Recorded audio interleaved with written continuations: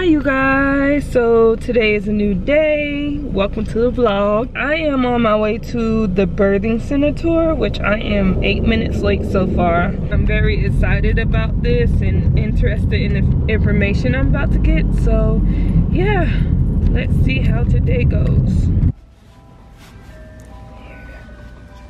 A medicated birth was just something that I thought was normal. Like that you go to the hospital and you get whatever pain medication you need because everybody I knew did that. Yeah, I thought before I had my first, I thought it was just going to be painful and automatically that I want pain meds. Ariel, having experience with that on a daily basis, definitely ask that same question about, you know, oxygen tanks and um, various medications. I carry all of all the same equipment that I have at the birth center with me. I'm a mobile midwife. I'm a mobile labor and delivery ER team is how I like to think of myself.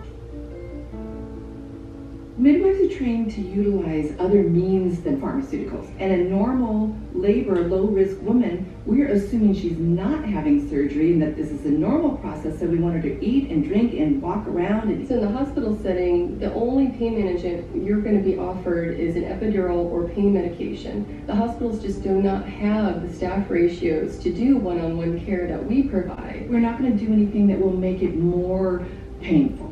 Uh, for example, like giving Pitocin, which makes it unusually intense.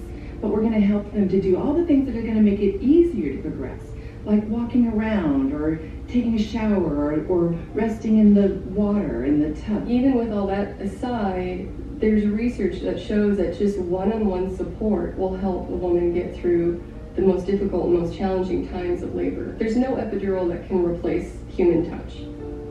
If you have a primary care, um, we don't take over like your primary care. We just have take over OBGYN, pregnancy. yeah. Yeah, so we take over like the OB side of things. Um, you'll come to us for your prenatal visits. Um, we send out for ultrasounds, but all of our labs we do in house. Are you able to fill out like uh, she can't work and stuff like that and has restrictions? And are, forms? are you Yep, able? mhm. Okay. Yeah, we do those as well. Okay. Um, the food and stuff, do we bring our own food, or do you guys have food here, or You would bring your own. bring our own food? Okay. So this is our staff break room area. Uh, we're kind of transforming it so that'll be like a coffee bar area. Yep. Back there we have our laundry facilities. It's not super exciting, but there's a couple washers, a couple dryers, and an autoclave to sterilize our equipment. Um, it's like they have in the hospitals, but ours is just a lot smaller. And then there are two restrooms on your right. And then on your left, this is our lab. Um, this is where you'll meet with a birth assistant before all of your prenatal and postpartum appointments. They would get your vitals, and this is where we would do any blood work that we needed as well.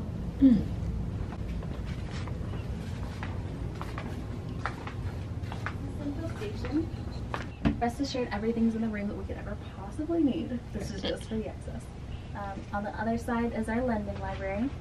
We have a lot of different books available for you to check out um, free of charge during your pregnancy. There's even a couple of midwife textbooks down there if you're interested. oh that's nice Um, we don't limit the amount of books that you can check out during your pregnancy. It's just one at a time. You guys can head in there and I'll follow behind you.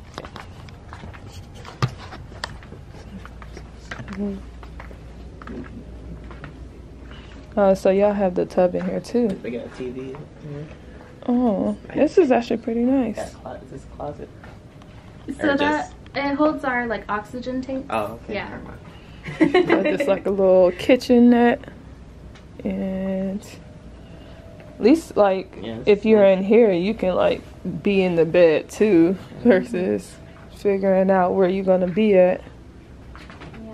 So this one's our Serenity Suite. Um, it's actually our smallest suite, um, but it's one of our two main suites. What kind of mattress do you guys use? Oh, I don't know. i never seen a birthing tub in real life he's able to be in tub too Mm-hmm. Yep. So they all have the same basic things in them. You have a bed, some extra seating for guests, um, a mini kitchen with a fridge, some sort of a birth tub, um, a bathroom with a shower, crib for baby if you choose to use it. There's a Bluetooth speaker if you want to play some music, and an Oh, like up here? if you're into aromatherapy. Um, it's down on the. oh this thing right here Mhm. oh that's nice Yeah. There's not much you need to bring, really. On your left is our administrative office, on your right is our staff kitchen.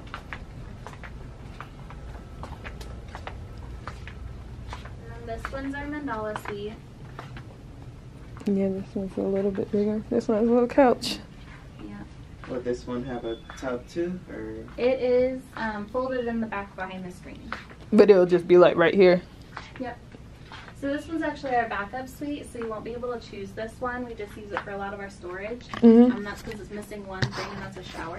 Mm-hmm. So we've never had to use this room before. The only reason that we would use it is if we already have two moms in labor and then a third mom comes in.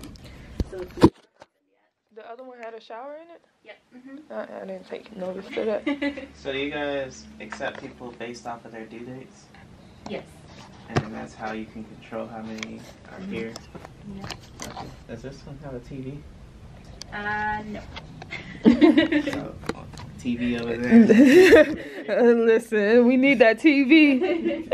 This is our main waiting waiting area. Um, so on a normal, this is where you wait for your prenatal and postpartum appointments. We do have a little area in there for the kids. There's some toys, some coloring books, and we usually have something family friendly on the TV as well. So if um, you have young kids, you're more than welcome to bring oh, them. this TV? Yep. Oh, okay. That was. First baby. it's exciting. Oh, yes, first one. Yeah. Um, so in the event that we have a mom in labor, this area gets left exclusively to the mom and her family. So the lights get dimmed, the TV gets turned off, and we take some toys in the back to kind of minimize the noise up here. Most of the time, you only just have one mom in labor here at a time. Most of the time we don't have a mom in labor here. So, but when we do have a mom um, come in and she's in labor, then yeah, it's usually just one. Mhm. Do they mostly do it at home, or No, no, no. We just haven't had a lot Or- of moms in labor. No, they usually like come in and they're close to it or something. Yeah. Close to the. If it sound like like I was in labor, I could call and come in and Mhm. that type of thing. Okay. yeah. if she was by herself and I was away, would you guys be able to go get her and bring her here for delivery, or just go to the house to deliver, or stuff like that? Um, ask him. Is there like a hour thing? Like, what if it's early in the morning? Like, So we have a rotating call schedule. So any time of the day you give birth, they're gonna be here. Okay. Okay. Oh, this is a huge tub. All right. I know this is the most choose room already. This one's our garden suite. Um, it's our biggest suite, obviously. Mhm. Um, but it does still have all the basic things in them. You have a bed, a tub of some sort, though it may be a little bit prettier. Um, a mini kitchen with a fridge, some extra seating for your guests, a crib for baby if you choose to use it, and a shower with uh, a bathroom with a shower. There's no TV. No. okay. This looks like the biggest one. Yeah, this is our biggest. Nah. So it's either that, babe, you deal with having the small room with a TV, or the bigger. It uh, wasn't like that small. It wasn't that small, but I said I was trying to say smaller room. yeah. Oh, I just started on a water break. yeah. Yeah.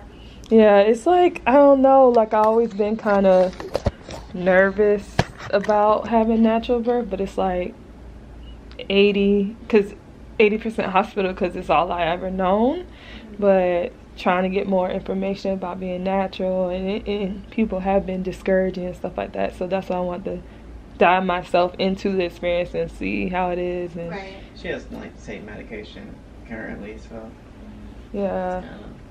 I mean, seeing the video and coming here, it sounds, it feels more peaceful than when we recently went to the hospital tour, and it was kind of like, uh, you know, Cool, a- yeah. yeah. So, um, your ways of mitigating the pain the water and nitrous oxide, hmm Yeah. like the laughing gas, or Yes, that's laughing gas. Yes. Okay, And it's self-administered by mom. okay. So she, just like the epidural is too, they're self-administered too. Like if they want more, they press the button and stuff like that. Yeah. So if if like they would like some more nitrous, they just put the mask on and take it off as they please. That was the main thing you want to see for some reason. For some reason, he likes the idea of just laughing gas. It's I don't gonna- I think it's gonna be funny if you take the laughing gas. Lord. Yeah. Just concentrate. Um, so both of our showers have a seat in them. And the birth balls you could take in the shower, and the birth stool you could take in the shower as well. We have a plastic one. Um, so if that's where you're most comfortable, you're more than welcome to just stay in there.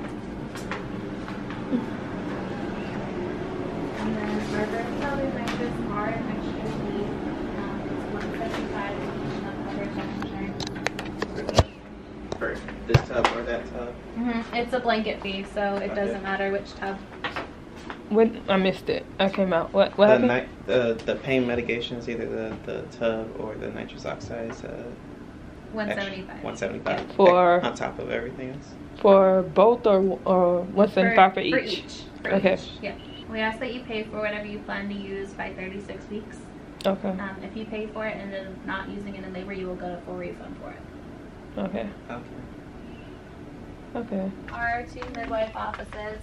Um, that's where you would meet with the midwife for your prenatal and postpartum appointments. You're more than welcome to take a look in there. You might see a midwife, so just say hi. I don't think nobody in here in the dark. in I don't think they'll be in the dark. So this is where you would do like Monthly exams. like Yeah. the checks and stuff like that. So I mean it looks just as much as any other Doctor's office. doctor's office but more uh, intimate I guess. She'll be working with the same people throughout the entire pregnancy. So we have five midwives right now, and they are all on the rotating call schedule. So during your prenatals, we get you in to see all of them. Mhm. We kind of rotate you around just so you know whoever is going to be delivering you. Okay.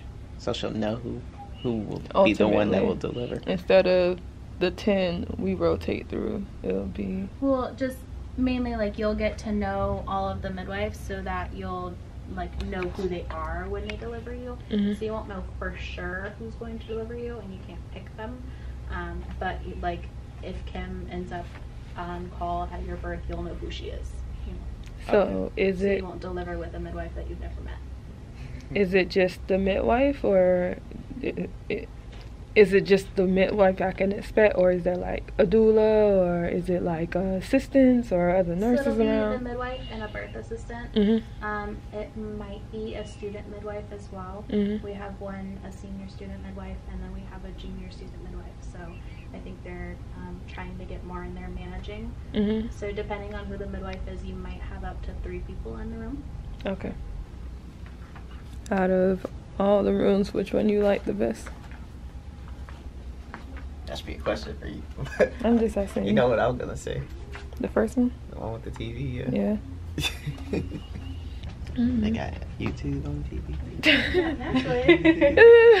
oh, you got YouTube? What you trying to watch our videos while in labor? I don't know. You like YouTube? That's all you watch. Yeah, I know. Um, it's not as intimidating as I thought it would be. It's more homey than I thought it would be. Oh, really? I thought it was just gonna be a you know big room, tub here, tub there. I don't know. Yeah. So we just came out of the birthing center, mm-hmm. and I don't know. I kind of like it. Yeah. It's definitely different from the hospital. Way different.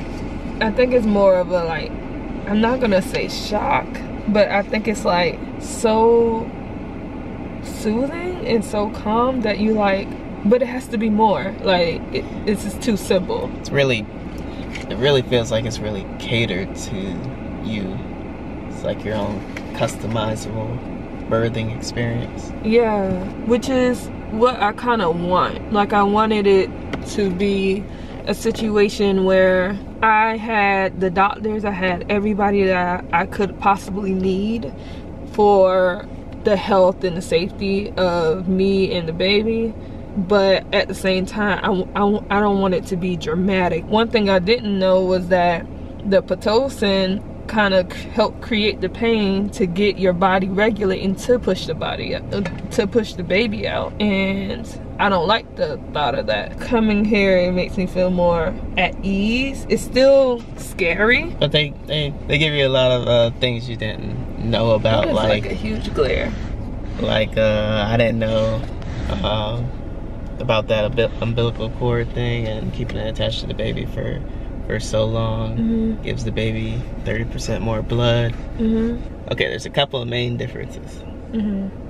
One, not gonna get epidural, so you just throw that out the window. Two, they have other options like the laughing gas, same option as at the hospital, and then the water birth, which they don't do at the hospital. But it, it gave some facts with that too, saying like it's 50% less painful with the water birth or something like that. It's at seventy percent. 70%. And then it, it does sound cool with, you know, the baby being born in water, getting cleaned out. I want this to feel encouraging. We went through this whole fight of trying to conceive, and now we conceive, and I want to be one with my husband and with the experience, and I want to feel good about it. Even though it's about me and the baby, I, I want to know that my husband's comfortable too.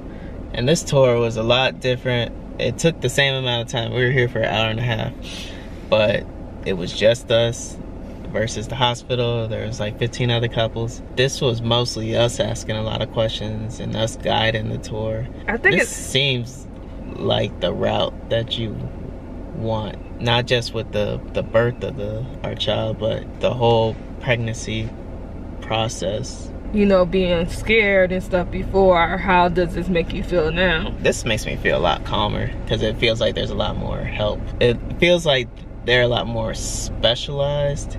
Mm. This is all they do. This is all they know, and they don't take on as many couples and babies as a hospital. Mhm. So you get more time with them and things like that. So It was like everything asked. It was like it's up to you. Like, yeah, yeah. It's up to you. Can we film?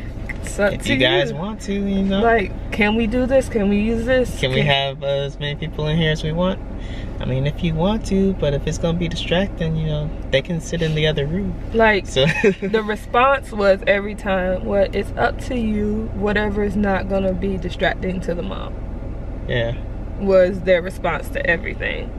And to me, it was kind of like shocking and unintentionally gives me the reins back in in control in the situation. and it feels like they're gonna be all about you and the baby, and not just the baby.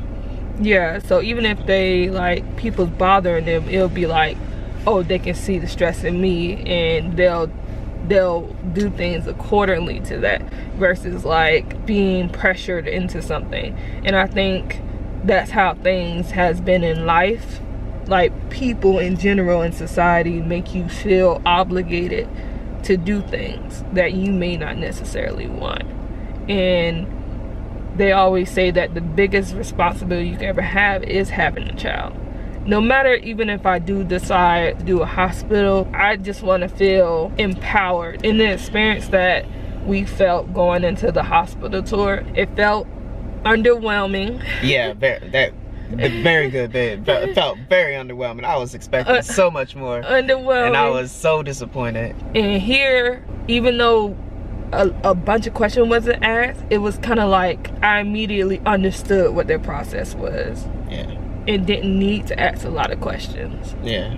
it seems like the most questions you would need to ask is about billing. Pretty much the same, exactly the same what we will be spending in the hospital. But if you want to use the tub or the nitrous oxide, those are each 175. Yeah. Additional. So, so it's not a huge expense where it's like, okay, I definitely can't do this. Mm-hmm. It was a little bit intimidating to hear like, okay, that's extra fees, but I'm pretty sure even if we did the hospital, there would be extra fees. And then if you don't end up using some of the stuff, then you get your money back. So Like we know for sure, we go this route, we're doing water birth, like without a doubt. So we know that it'll be the 240 plus um 175. 175. That was one other thing I noticed. Like the lights in this place are like like dim, calm.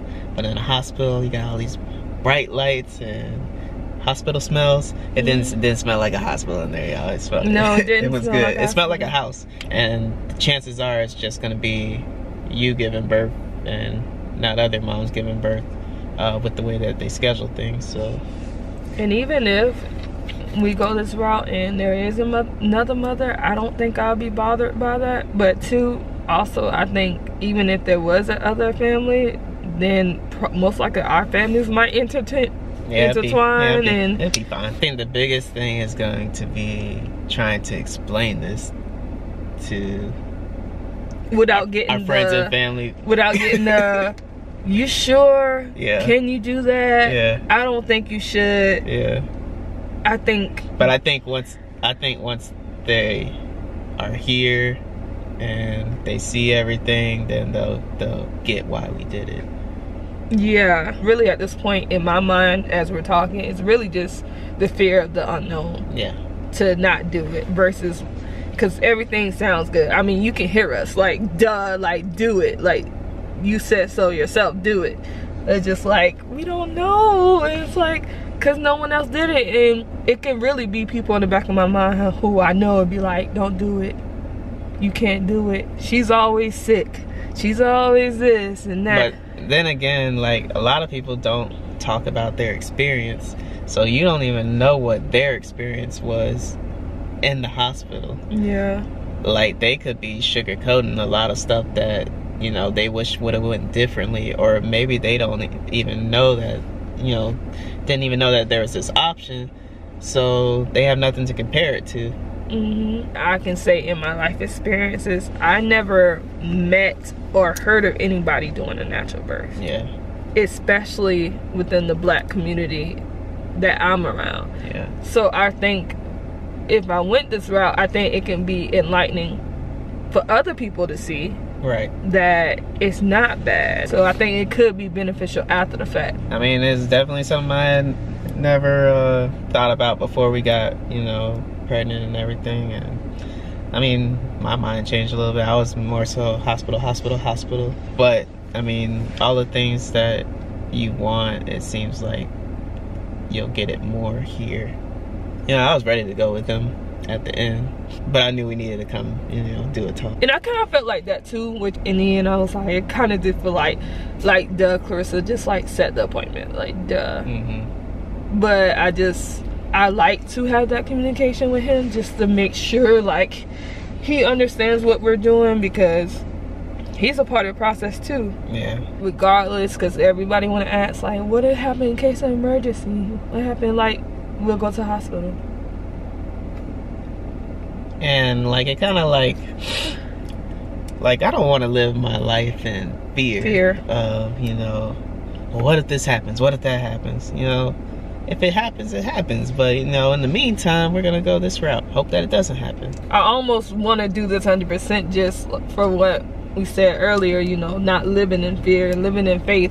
I think this would cause us to be more faithful in our beliefs in ourselves and our body. it'll be a totally different totally different experience So, yeah, I guess we'll either see you later. If not, this is all for this particular video, and we will see you in the next one.